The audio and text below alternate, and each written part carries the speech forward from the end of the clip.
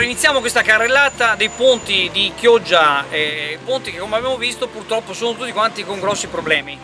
Allora, un particolare che non avevamo scritto l'altra volta, che eh, quando sono stati fatti i lavori per la realizzazione del Baby Mose, quindi del Canal Vena, Baby Mose che ha assicurato, ricordiamocelo sempre, la tranquillità eh, alla città di Chioggia, al centro, da 4 anni, preservandole dalle acque alte, quindi noi assolutamente siamo grati a chi ha fatto quel lavoro perché comunque la città è rinata, okay? però in quel periodo era previsto, qualche consigliere comunale nuovo magari potrebbe cominciare a informarsi anche su queste cose,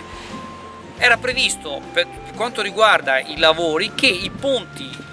non sono sicuro di questo di San Domenico, ma sono sicuro per quanto riguarda i ponti di Canalvena, che sarebbero stati dovuti ristrutturare e diciamo risistemare ed erano stati fatti degli appositi capitoli all'interno dei quali c'erano le somme per eh, restaurarli in pratica. Che fine hanno fatto quei soldi? Ripeto, i nuovi consiglieri comunali potrebbero iniziare a chiedere, a fare le loro interpellanze, chiedere ai vari dirigenti se questi soldi ci sono ancora, se ci sono magari sperduti nel meandro del bilancio comunale oppure sono stati utilizzati per altre, per altre finalità.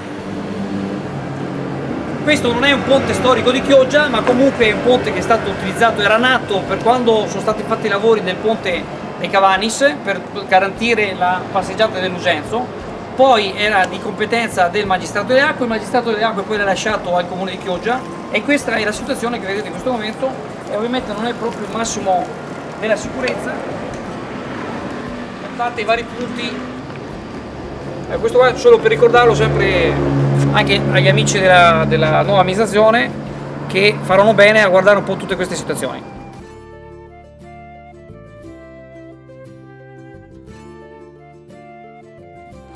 Allora, qua il ponte della Cucagna, detto così, della Cucagna avevamo già parlato qualche sera fa e avete visto che ci sono diverse diciamo, posizioni di criticità, è sempre uno dei ponti che avrebbe dovuto essere restaurato al momento la situazione è questa, qualcuno, non vogliamo fare terrorismo, ma qualcuno teme proprio che ci siano dei grossi problemi di staticità. Notizia positiva della giornata è che la porta Garibaldi proprio questa mattina l'hanno ripulita dalle erbacce. Ricordiamo sempre che c'è stato un genio, un scienziato, sicuramente uno scienziato termonucleare della sovrintendenza che a suo tempo, durante la seconda amministrazione Guarnieri, e non è responsabilità dell'amministrazione dell Guarnieri, forse della prima, forse sbaglio, hanno fatto togliere la copertura. Tutte le porte che ci sono nel Veneto hanno la copertura e la sovrintendenza di Venezia, che sono dei scienziati termonucleari intelligenti, ben pagati tra l'altro, hanno preferito toglierla.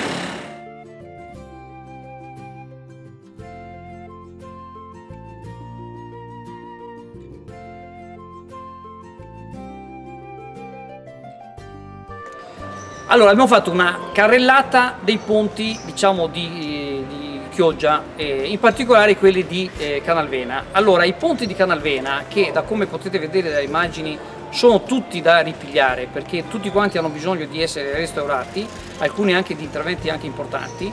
tutti questi ponti c'è un accordo di programma e sono stati, almeno ci dicono,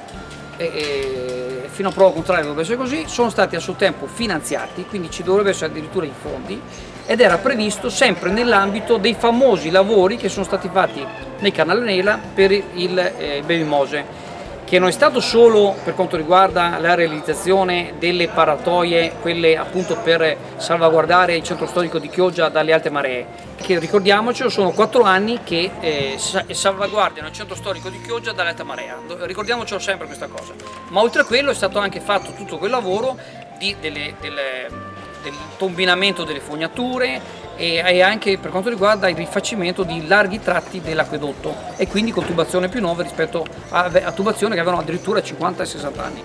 Detto questo, c'è questo accordo di programma che non è ancora stato formalizzato, che per quanto riguarda sono i quattro ponti che sono Ponte Caneva, Zitelle, Filippini e Sant'Andrea come dicevo ponti che devono essere eh, ben ristrutturati, però l'accordo di programma c'era, sembra che i fondi addirittura c'erano, eh, tutto questo fa parte di un accordo di programma che non è ancora stato formalizzato, all'interno del quale ci sono anche la realizzazione degli ultimi 100 metri di Corso del Popolo che è qua vicino. Ecco, quindi c'è la nuova amministrazione, noi vi proponiamo queste immagini, speriamo che il nuovo Consiglio Comunale, i nuovi assessori e vengano informati, riescono a prendere in mano la situazione molto velocemente. Ripetiamo, da quello che sappiamo, i fondi per, punti, per la, la ristrutturazione di questi punti erano stati stanziati. Che fine hanno fatto questi soldi? Punto di domanda, ci sono?